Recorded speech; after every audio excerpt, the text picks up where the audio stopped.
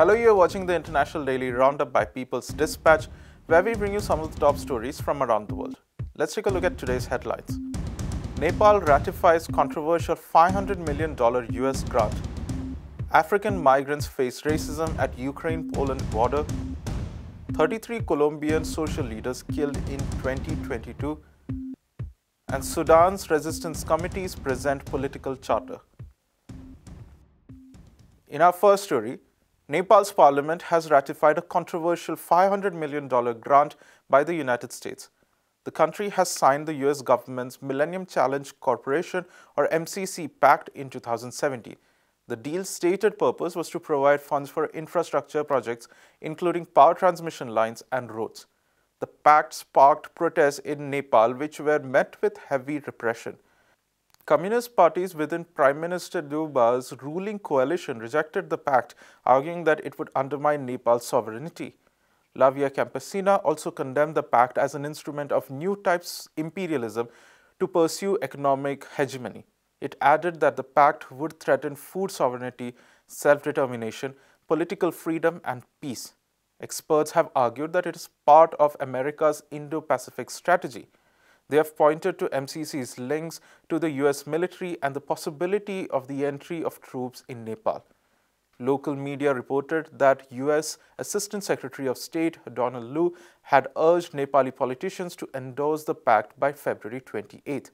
If not, Lu said that the US would review its ties with Nepal. The MCC pact was finally ratified after a compromise with the Communist Party of Nepal Maoist Center and the CPN Unified Socialist and the JSP.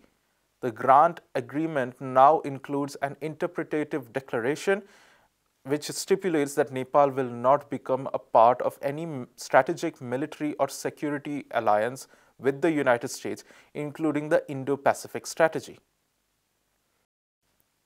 In our next story, the United Nations Refugee Agency has stated that more than 500,000 people have fled since the start of the war in Ukraine.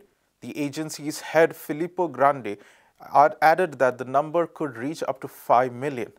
The announcement came as officials from Russia and Ukraine arrived in Belarus to meet for crucial negotiations. More than 115,000 refugees, most of whom are women and children, have already crossed the border into Poland. Ukraine closed its airspace to civilian flights, forcing many to walk on foot to reach the border. However, African and other non-white migrants trying to flee to safety have described racism and discrimination at the border. Ukrainian police and border forces have reportedly blocked migrants from boarding trains and even pointed guns at them. A man told The Independent that he, is, his family and several other people were ordered to disembark from the bus after being told no blacks. People who have been left stranded have taken to social media to share their testimonies.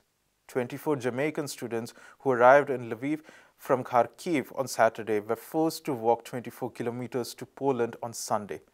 Black people are struggling to board buses headed to Poland and have also been denied entry at the border.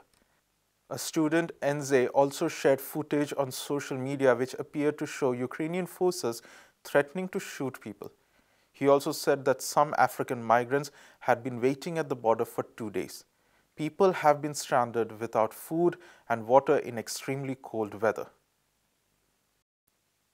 Next, we go to Colombia, which has recorded the deaths of at least 33 social leaders in 2022 so far.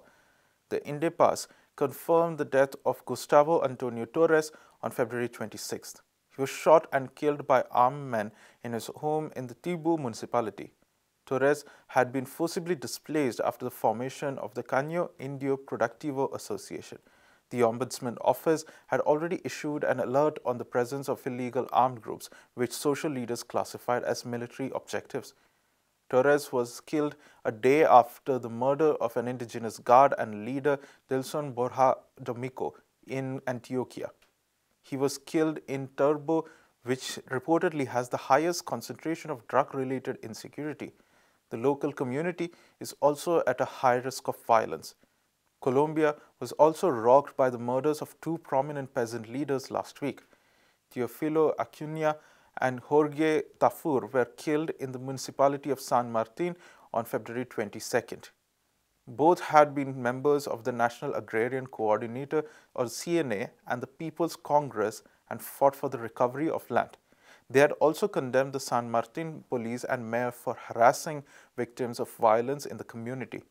Members of the People's Congresses have been increasingly targeted with threats and violence in their struggle for peace and human rights.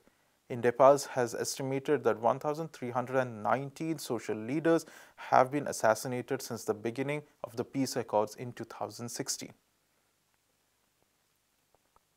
And finally, thousands of elderly people in Sudan held a Mothers and Fathers March on February 26. The protest was held in support of the youth who have mobilized under resistance committees against the junta. Marches were held in the capital city as well as in states including Jazeera, Blue Nile and North Kordofan. At least 83 protesters have been killed and over 3,000 have been injured since the October coup. Chanting, Our children are not alone, we stand with them, protesters marched in Khartoum on Saturday. At least 34 people were injured after security forces cracked down on the crowds. On February 27th, the Khartoum State Resistance Committees presented a proposal for the Charter for the Establishment of the People's Authority. It reiterates the rejection of negotiations with the military and the continuation of peaceful resistance. The text calls for the cancellation of the 2019 constitutional document and a review of all agreements since April 11th that year. It lays out a two-year transition under a Prime Minister chosen by the Charter signatory. The text also proposes transitional governance structures based on a federal system. It includes mechanisms to prosecute those involved in rights violation and war crimes in 2019 and the crimes committed since the coup.